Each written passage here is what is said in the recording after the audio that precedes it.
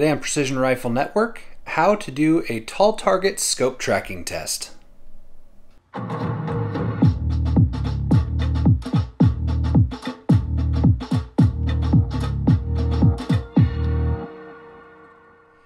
guys, so as we get started today, I'm going to show you everything you need in order to set up a tall target tracking test for your scope. I'm just to go ahead and get all the gear laid out on the table for you and explain how to set this all up, and then we're to get out into the range and, uh, and I'll show you how to set up a tall target tracking test uh, and fire through it at 100 yards. All right, so as you can see from all the gear here, you need a big sheet of cardboard, approximately, oh, 40 inches tall. Um, ultimately, it only needs to be about 36 inches tall. So there's roughly um, 36 MOA uh, to get to a thousand yards. Um, so it needs to be roughly that tall. Your your piece of paper or the back of your target or whatever, um, you know, needs to be able to reach uh, from your 100 yard zero all the way up to your thousand yard uh, impact zone. And so it just needs you need to figure out how tall that is for your given uh, distance or scope or, or whatever it is. You know, if you want to test out to 1200 yards or 1400 yards, of course you're going to need a taller piece of cardboard and piece of paper. I'm going from zero to a thousand yards today, so this will suffice for me. Uh, we also need a level. Um, I'll show you what that is for uh, as we get going on here, a tape measure and a pen, something to mark this with. And then what we need to do is we need to find the center uh, of our target as far as um, going across. Now you don't have to find, this is just what I recommend. So I've already done this and marked it uh, at the top and the bottom of our piece of paper here. Um, so I've got two marks and now what I'm going to do is I'm going to lay my level down across those marks.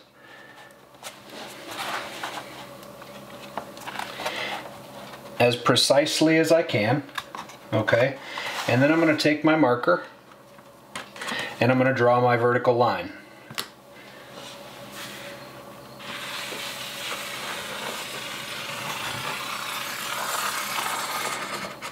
All the way up my target. And again, uh, once we get out in the field, I'll show you exactly why that's important. But now we've got our vertical line on our piece of paper. Now we need to know where we're going to place our dots or our aiming points, right? Because in a tall target tracking test, you want to fire a group at your 100 yard zero. So in this case, that's going to be at the intersection of this line and the paper and the cardboard down here for me. And then somewhere, uh, roughly 36 inches up towards the top, is going to be my 1,000 yard uh, target that I'm going to place there. Although you always aim at the 100 yard target, whether you're you're uh, dialed in for 100 yards or a thousand. It's just the nature of this test. There's a math equation that you need to know, right? So we know that um, you know a mil is 3.6 inches at 100 yards. So the math equation is basically 3.6 times your distance divided by 100 yards where the target is, is placed. So if we look at that, it's 3.6 times 1,000 equals 3,600 divided by 100 equals 36 inches. So if I wanted to measure from my original bottom aiming point down here up to 36 inches and put a mark, that tells me where I'm going to place my 1,000 yard sticker target when I get out to the range. So when I take my shot, I'm going to be zeroed for 100 yards, and then I'm going to dial the scope for 1,000 yards, and the new group should impact somewhere around the target point up here, and somewhere dang close to that line, uh, given a few other variables that I'll explain out on the range. All right, I'm going to go ahead and throw my, my target dots on here. So we've got a, a cardboard target, a paper target, and a vertical line that's perfectly straight on the paper. Now one thing you can do as well that I am not going to do today is a lot of people want to know at what point um, their scope deviates on this line as far as their tracking is concerned. Now almost all optics, it's safe to say, are going to track uh, inside of 500 yards. I, I haven't seen a scope, even the cheap ones, that don't at least track um, fairly accurately to 500 yards. And at that distance, even if the tracking is off a little bit, it's not going to push your shot uh, off of target all that much. So if you wanted to, you could do the math. Again, I'm not going to do it, but you could figure out what uh, the distance is. You know, if, if, if your 100 yard zero is is 3.6 you you know the next one would be what 7.2 and the next one would be and you could just figure out the inches as you go up your your line here and you could put targets along there.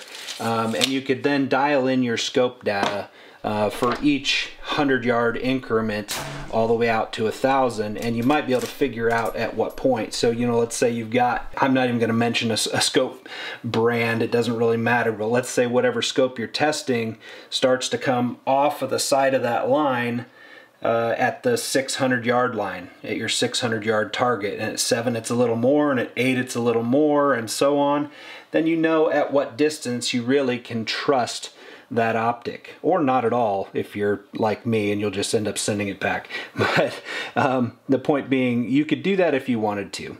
The other option here, now that you've got your target completely set up, you could just buy a target like this. Uh, and this is Frank Galli's um, Sniper's Hide tall target tracking um, target. I'll just be using this. I just wanted to show you guys on the other side how you can go about um, you know setting up your own tall target tracking test but you know you can buy one of these uh, which is already got it figured out for you um, you know from zero out to a thousand and gives you your aiming points and grids so you can tell exactly how far things are uh, are either off or on. So again um, you know that's uh, Sniper's Hide Frank Galli's tall target tracking Target and it can be found at these guys right here, box to bench precision. All right guys, here's what we got here. So when we get down here, we gotta make sure that we line up the level with one of these vertical lines and make sure that this target is hanging perfect with gravity. And our scope, in theory, is leveled perfectly as well, which will give us a nice true path for when we uh, dial up our elevation turret. So um, that way we can kind of eliminate some of those variables and we know it's not because the scope is canted or the target is canted that the shots will deviate. It, as close as we possibly can. Obviously there, there, there might be a tiny bit of error.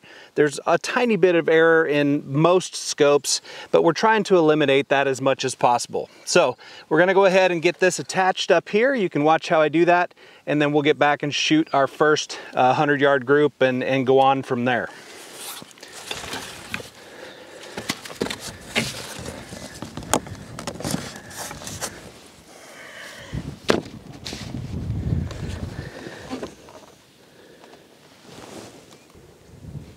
So I'm just making sure that this bubble level down here at the bottom is perfectly in the center, at least as much as I can get it. And then we're gonna use these clamps to lock it in.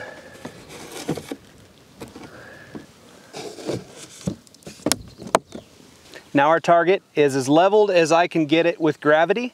We're gonna go back and shoot our groups. Again, we're gonna be aiming right down here at our 100 yards. And then when I dial up to a 1,000, I'm, using, I'm shooting a 6.5 Creedmoor today. It's in mils. So, you know, it's probably gonna be in the neighborhood of eight mils, somewhere in there. So we're gonna end up with a group up here, hopefully right up on that line. Let's go figure it out. All right guys, so we've got our target leveled up down there uh, at 100 yards and I am shooting off the bench. Again, I'm not super concerned about ultimate precision here. I'm not shooting tiny groups right now. I'm gonna shoot a three shot group down at my 100 yards, uh, zero, and then I'm gonna hold the, the reticle on that exact same aiming point, the 100 yard zero. I'm gonna dial eight mils up to my 1,000 yard hold for this cartridge and rifle, and I'm going to fire another group. And we'll get another group up towards the top somewhere, and we'll be able to tell if the scope is tracking well. So let's go ahead and shoot this initial 100 yard group.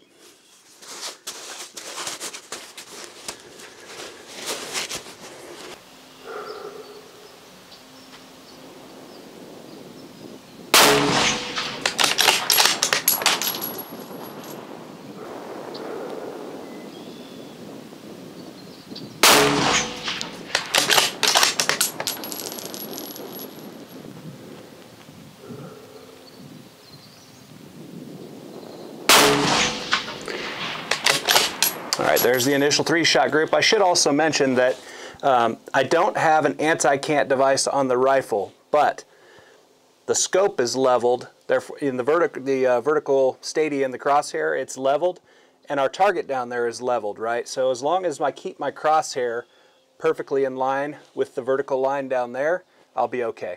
So now I'm going to dial my 8 mils up, and we're going to fire our other group. There's eight. Again, holding at the 100 yard aiming point.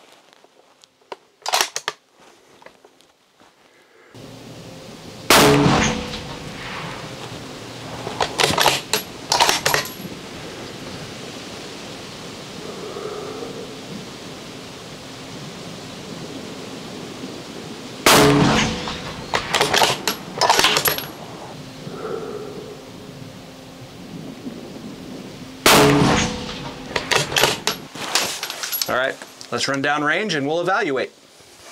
Uh, I'm just going to hand hold this and, and we'll get, get the uh, results. So right down here at the bottom, if we look at this, that was our 100 yard group.